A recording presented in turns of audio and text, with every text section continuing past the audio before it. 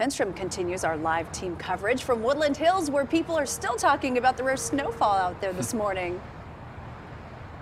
Good morning, Suzanne. You know, the sun's coming up here now, but the temperature it's not rising yet. Take a look. Behind us, you can see 35 degrees here in Woodland Hills. We're along Ventura Boulevard. The National Weather Service tells us parts of Woodland Hills expected to dip below freezing this morning.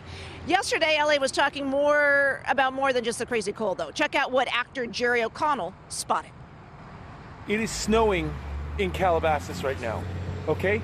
Calabasas, California, where the Kardashians live.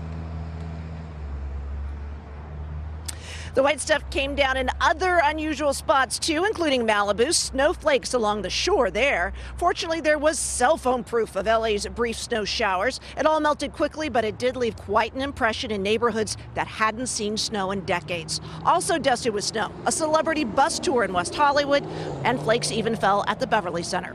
We spoke with the employees at the Malibu Surf Shack who saw the rare snowflakes there.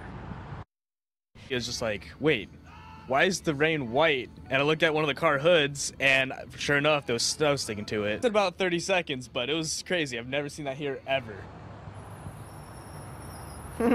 and back here live giving you a look at some of the folks all bundled up there for the snow. Real I mean, for the snow for the cold rather. Really cold morning out here.